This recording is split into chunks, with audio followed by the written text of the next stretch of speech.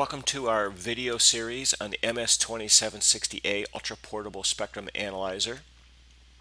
Here I want to give you a brief introduction to channel power, occupied bandwidth, and adjacent channel power measurements. Here I've set up a live 751 megahertz uh, LTE downlink to demonstrate uh, these measurements. And the way you get to the different measurements is through the mode measure button on the control panel brings up the mode measure menu and I can click between channel power, occupied bandwidth, and adjacent channel power. Picking channel power, I already have this set up with an integration bandwidth of 9 megahertz and limit limits set and you can see some are passing and failing to, as the as the signal fluctuates. If I change the averaging mode to say 100 you can see that will go into pass and fail as the signal modulates up and down.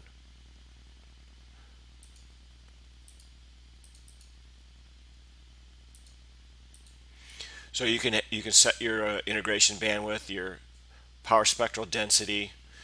Integration bandwidth is the only choice we have right now, and then you can decide whether you want the limits to be on or off.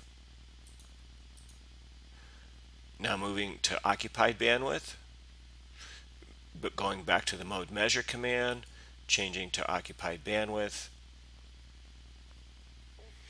and now measuring the occupied bandwidth. I switched to single mode because it has a hard time sometimes getting the measurement fast enough as the signal is modulating. And you can see here again, have pass fail limits, go to the measure setup, I can say what my percent power I want to capture, how many XDB down I want to capture, and then whether I want my limit limits on or off and set what my occupied bandwidth limit is going to be for a particular measurement.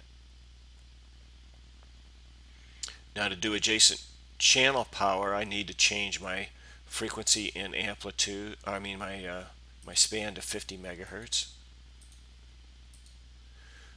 And we'll go back into single mode go into mode measure and change to adjacent channel power measurements and to the measure setup screen where I've already called up my limit setup uh, I can set up my limit setups by calling up an ACP limit setup menu and saying what my channel spacing is, integration bandwidth, and what my limits are. So I already have that set up and you can see some are passing and some are failing. You can choose also to whether you want to pass on the relative limits or the absolute limits. So you can see here so difference between passing with the relative limits versus the absolute limits.